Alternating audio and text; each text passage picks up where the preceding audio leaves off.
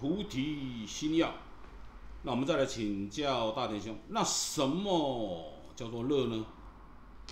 好，我们上一篇里面，我们已经把苦乐的定义，把苦已经讲完了嘛，哈，破题也讲完了嘛，哈，哎，然后我们这一篇就来开始讲什么叫乐啊？乐的话，我们简单讲，我们还是有三点来讲它。那第三点，我们还是先把结论结论来讲啊，大让大家就知道什么叫乐哦。我们这先讲结论，就是用我们平常人最容易接受、最容易了解的的话语来解释它。简单讲，什么叫乐呢？内心平静，不受外面境界的影响，就渐次的得到这个快乐。啊，这个是用白话讲。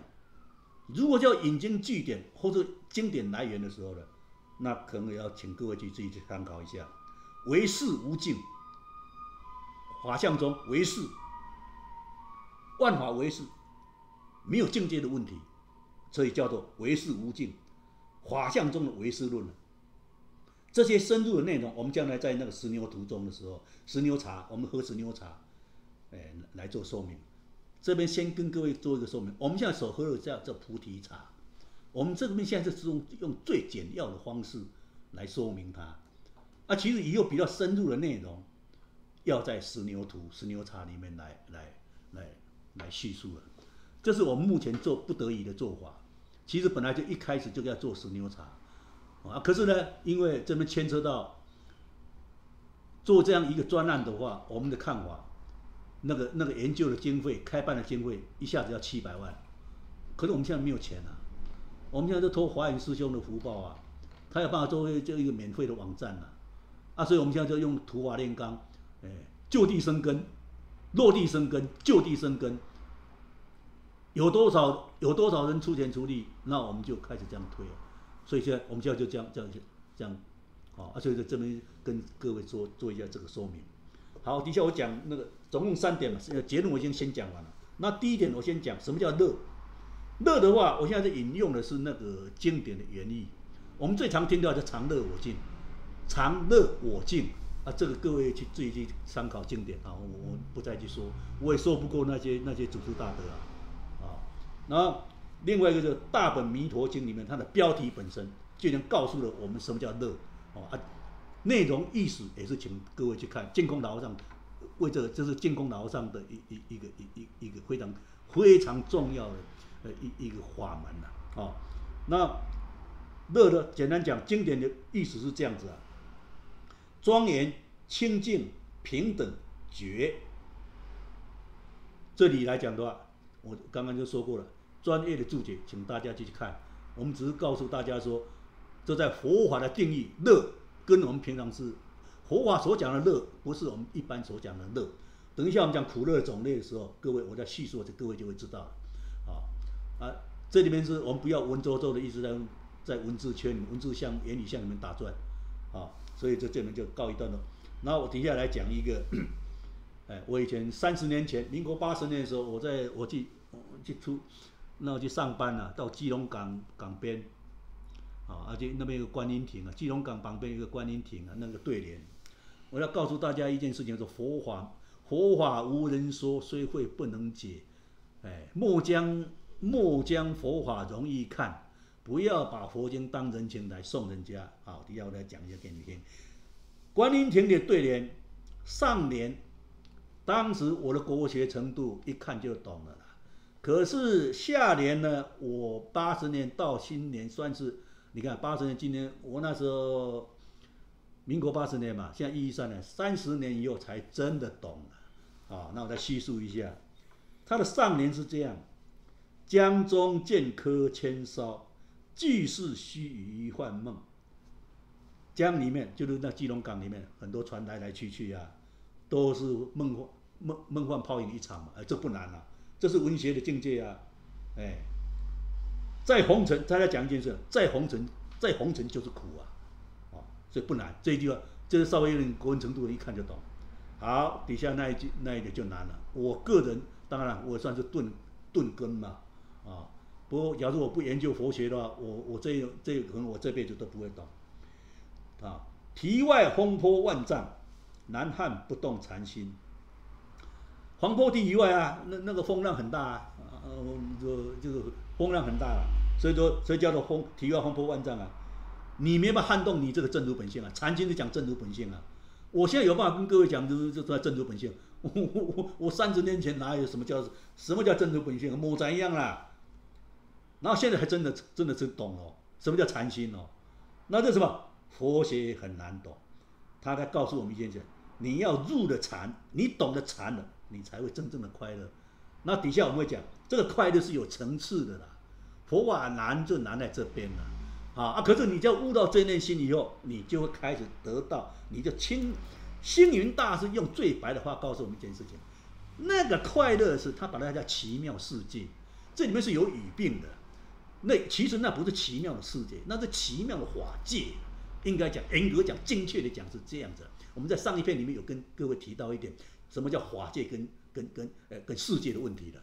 哦，星云大师的伟大跟他平静易、平静易、呃平凡平易近人也在这里啊。他为了让大家，他假如奇妙的法界又挖又要文字像，大家又要头上安头，哦，又又又又从又从一文解义，又的费了很大功夫。清明大姐告诉我，那是一个奇妙的世界。其实呢，那里面在禅定来讲有四十个位阶，在智慧来讲有二十二位阶。好，那我这边就把它讲了。所以何为乐？我们把它这三点就把它讲完。我再把这那个结这个结论稍微讲一下啊。这这个乐，我们就把它定义就成这样：内心平静，不受外界的干扰，就慢慢的得到快乐。那这里面的精华跟那个那那个原理，宇宙的真相在哪里呢？在法相中的唯识论里面的，唯识无尽啊。这里是这是专业的，留给那个。呃，善根利器有有佛法有有有很有很深造诣去研究，啊，底下我们就开始往讲那个苦乐的种类。好，那这个部分呢，这个所谓的乐啊，呃，大田兄指出，从这个大本弥陀经啊，所谓大本弥陀经，就是诶，一般来讲有一个叫做，诶，我们弥陀经有三本的小弥陀经啊，阿弥陀本愿经，然后接下来就是观。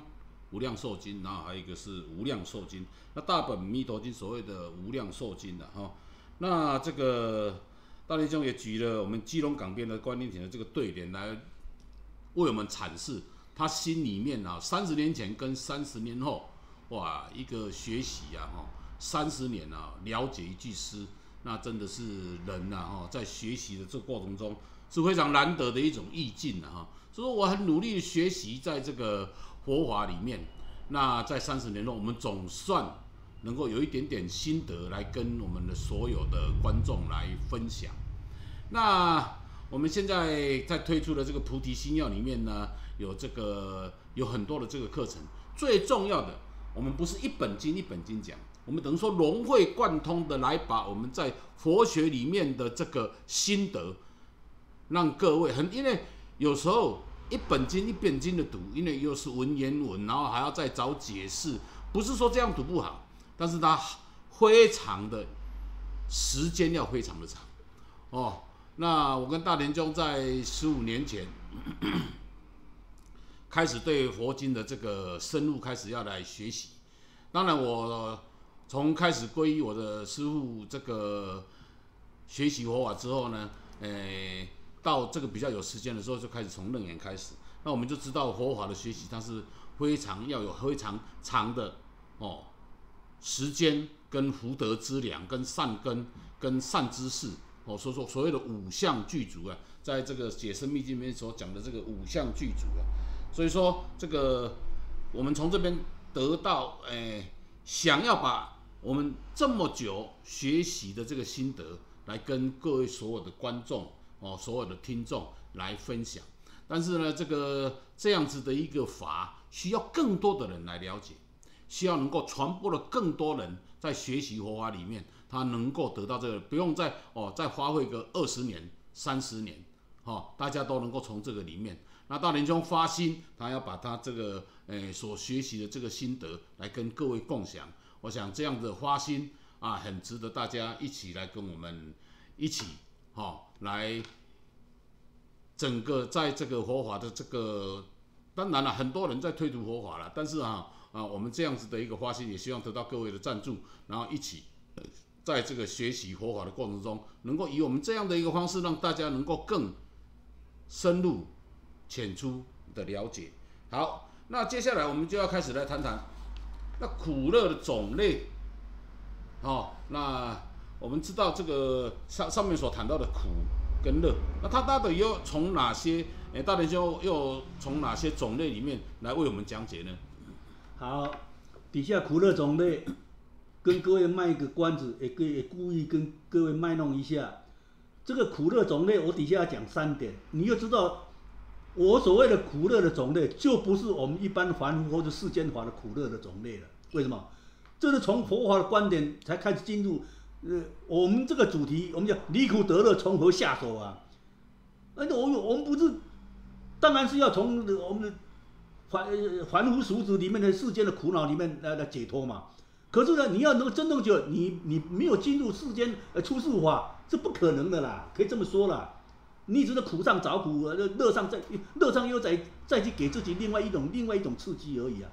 所以现在我先跟你讲底下三点，先看标题，你就知道你从这边，我现在是我们这是抛砖引玉而已哦哦哦，或或者另外一个叫引蛇出洞。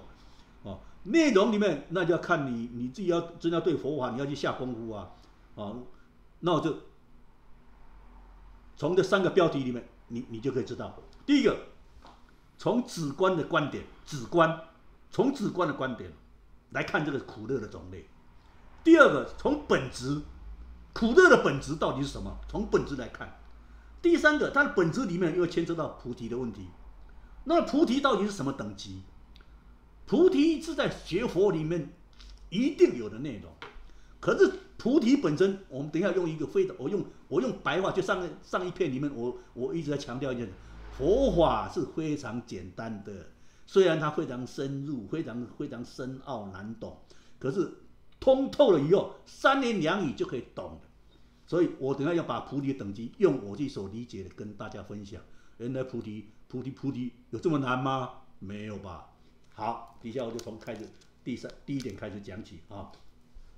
第一个，从直观的这观点来看，从直观的观点有三件事情：苦到底是什么？乐是什么？不苦不乐是什么？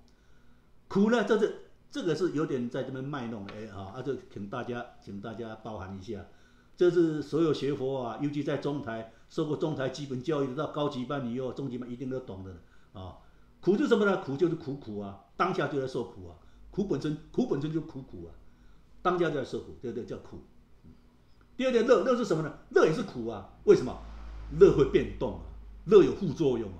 乐，世间法的乐一定有外加的因素啊，啊，那就外加因素一定会变动的，所以乐，乐一定会苦，一定有副作用。啊啊，不苦不乐，因为不苦不乐，那中间就中间这种状态怎么样？那是个行为啊。那个行本身也是苦啊，啊那个行呢，本身可能是无聊，可能是无记呀，啊，在这三个苦乐跟不苦不乐三个有个共同现象，周而复始，循环不已。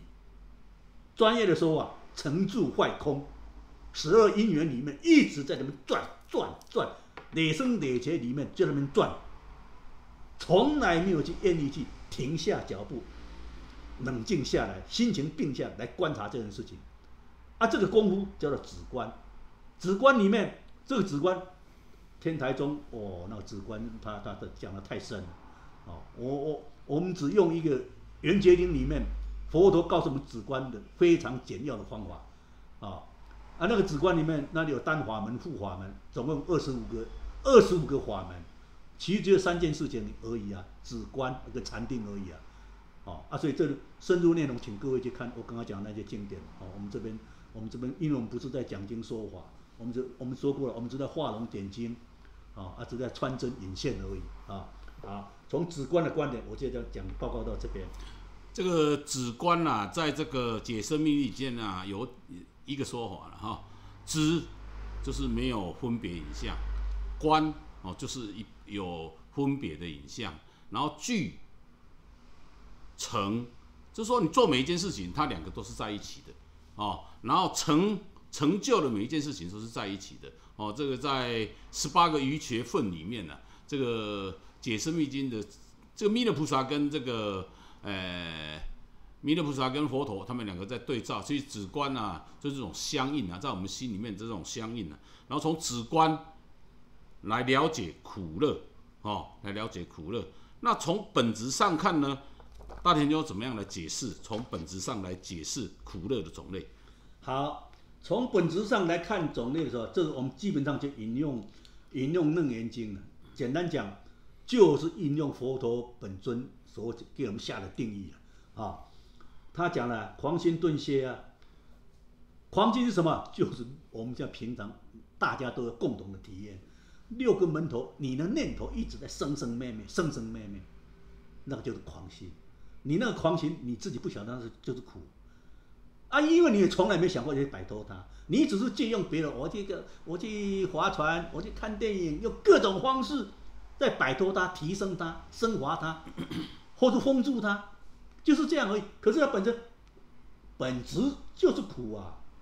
啊，所以佛陀讲的非常简要，狂心，你那个心是狂乱、不定，所以狂心就是苦，所以狂心顿歇。你只要把这个狂心一一停下来，他就会开始乐。所以说，歇即菩提。可是歇即歇一歇有就开始乐了，可是还没有那么简单。歇即菩提，为什么歇即菩提？为什么不歇即快乐呢？为什么不这样说呢？因为菩提，菩提就是为什么这菩提就是乐呢？这里面有构成的了，底下有构成的了。好，歇歇就菩提，为什么？你因为你懂得把它停下来。好，底下我们就讲，先在。我先在这里把底下要讲的那个菩提的定义讲给大家听。菩提这两个字哦，佛法里面的这般若啦、菩提啦、涅盘啦这些常常会碰到。可是呢，所谓的共振菩提啊，这个诶圆正菩提，说真的啦，我我个人呢，我我个人学了学，我真正学佛花了十五年，一直到这三两年来，总算对菩提里面我自己把它下一个定义了。哎随便举个例子了，我开始我十年前、十二年前开始读《华严经》的时候，有一个问题了：三世诸佛成道成佛，一定在菩提树下。好奇怪的问题哦！哎，印度那边他们的树叫菩提树，现在校园常常也叫菩提树啊。那我们在台湾成佛怎么办？那蒙古那边呢他们没有树哎，他那边哪有什么菩提树？啊，可是我三世诸佛一直在菩提树下成佛，其实啊，我现在用一个非常简要的提供大家一个参考。什么叫菩提？什么叫花？尤其常常听常花菩提心，哎，各位可以可以当做参考。可是我我现在认为，我现在能够抓住菩菩提这两个字真正意思是什么？三个字，动脑筋。动脑筋就是花菩提心，这么简单。哎，各位可以参酌一下，好。然后底下，因为底下要讲的菩提的等级啊，为什么呢？因为苦恼的种类会不会得到快乐，就是因为你这个菩提，你到底你到底有没有获获得了这菩提？讲就换成一个白话，你到底会不会动脑筋？谁不会动脑筋？哪一个人不会动脑筋？我们把我把那个无常经，马明菩萨告诉我们一个。马明菩萨《无常经》里面做一个做一个总结论，就是皈依佛、皈依法、皈依僧，最后面告诉我们一件事情：生死，对吧？为什么我们说为什么总敬三宝尊？为什么我们说我们为什么要尊敬三宝？就是为了得到菩提，而为了菩菩提就可以快乐。我把最后一句背给大家听：生死迷于正成逆，贤令出离至菩提。讲成白话，凡夫众生，不管你上至王公大臣，下到贩夫走卒，你都是在生死沉沦啊。你一直在沉溺在苦海呢，可是你自己不知道，你也不相信，你也不承认，就是因为你没有菩提，因为你你因为你不晓得动脑筋。啊，我现在讲的你没有动脑，那太马上有人会会会封我的嘴，马上打我的嘴巴。啊，事实上呢，你要是对佛法这什么叫菩提懂了，你自然就会承认它。这话不是我讲的，这是马平菩萨下《总净三宝灯》里面的最后一句话：“贤令出离至菩提。”那这个菩提有有有有几种？那就我们赞叹中台呃祖师大的那个告明啊。那个菩提有几种？他把它，我们现在这引用的就是从他那边出来的。啊，明心菩提、福心菩提，哎哎，我花心菩提、福心菩提、明心菩提、出道菩提、究竟菩提，在圆觉经里面一样有菩提，可是他讲了七个，前后两，一个是凡夫，一个是如来，去掉，所以中间还有一个，就是简单讲，呃，一禅题啦，随缘啦，哦，啊还。哎，那这个地方我就这个地方我不再去重述它，因为我们现在重点是，我们就觉得中台祖师大德他帮我们，呃，弄出来比那边更精确、更容易懂。好啊，这样我现在用白话来讲，就这五个，我用白话，用我所理解的，让你知道这个菩提到底什么。所以你现在脑筋会不会动脑筋？非常简单，什么叫花心菩提？我们每个人都有脑筋啊，每个人都有本觉啊，智慧本大的对吧？啊。现在有一个题目，有一个内容，专门在让你知道这件事情，这样就叫花心菩提啊！啊，叫什么？什么叫福心菩提？每个人都有烦恼，每个人都有困扰啊！啊，你要把想办法把这些压住啊，把它把它降服啊，这样叫降服，叫做福心菩提啊！啊，我们的真如本性大家都有了啊，你把它弄明白啊，你把它显露出来，这样叫明心菩提啊！明白了没有啊？啊，出道菩提，出道菩提跟究竟菩提稍微要讲点专业。出道菩提，简单讲，到了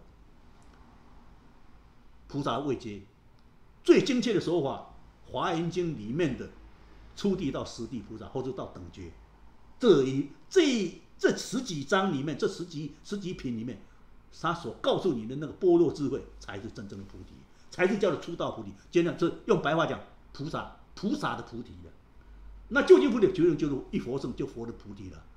好，啊，所以这样的。这个不难吧？